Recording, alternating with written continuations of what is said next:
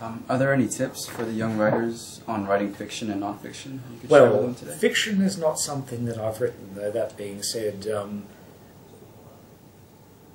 um, if you write anything vaguely memoir-like, I mean, they always tend to say that autobiography is fiction. I suppose there's a truth in that. I tend to wander myself in some of my own writing, so whether people choose to believe all of that or not, it's up to them. Um, tips. The main thing I would suggest is don't give up on it. If you want to do something, then do it. Proceed with it. Find a way forward, and eventually you will. I mean, I look at my own career path, if I parenthetically career path, it's been relatively successful.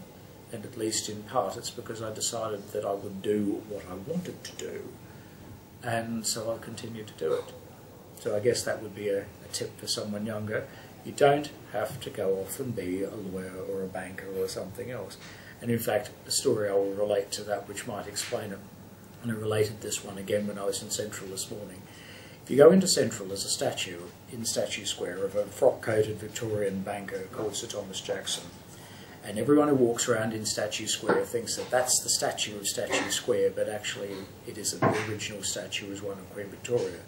But Jackson is of interest and it relates to writing. And how does that come, come together?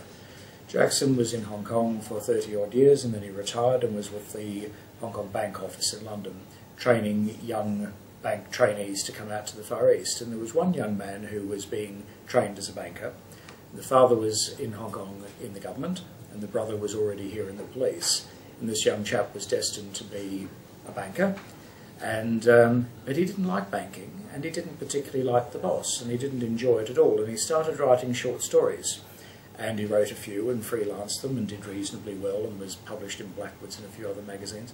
So he kept on going, and eventually decided that he probably would be better off as a writer instead of a banker. So he stopped being a banker and became a full-time writer, and it's just as well that he did because that was P.G. Wodehouse.